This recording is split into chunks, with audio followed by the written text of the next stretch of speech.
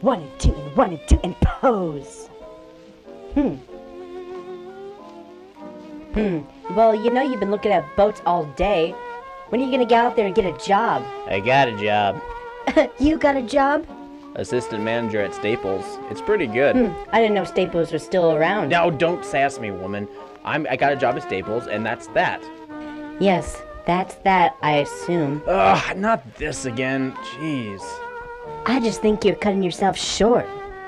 You know, when are you gonna learn that I'm just not good enough? You know, I got an assistant manager job of of helping out a stapler, staple papers together, and just you know, just You know what? Just because you light up doesn't mean you can light your problems away. jeez. You know, maybe you should find somebody else. Ugh, why am I so mediocre? Well, maybe if you tried a little harder, you wouldn't be so mediocre. We all gotta accept our limitations in this world. Ever since I dressed up as Michelangelo instead of Leonardo, I just knew I just can't accept that. it's like I'm living a third person perspective.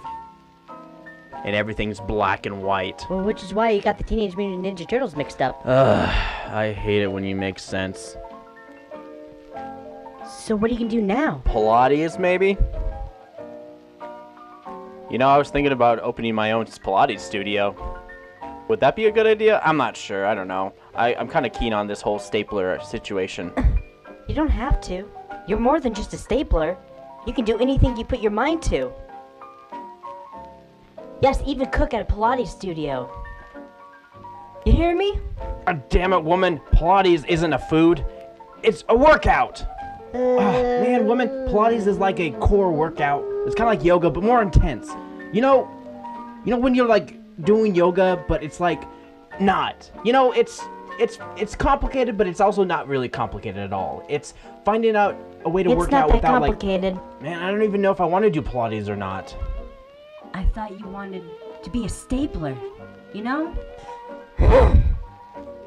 you can't just stand there and smoke, change your mind, and just do whatever you want. I did not marry a Leonardo. I married a Michelangelo. Because he could always make me laugh. But now, now you just want to be a stapler? You just don't want to just staple papers together? That's enough now. You're acting more like a Raphael. What did you call me? A Raphael. You're a Raphael. That's what you are. I have to yell to get You don't through have to you. yell at me. Maybe it'd be better if you never saw me again. this take a dramatic turn. Música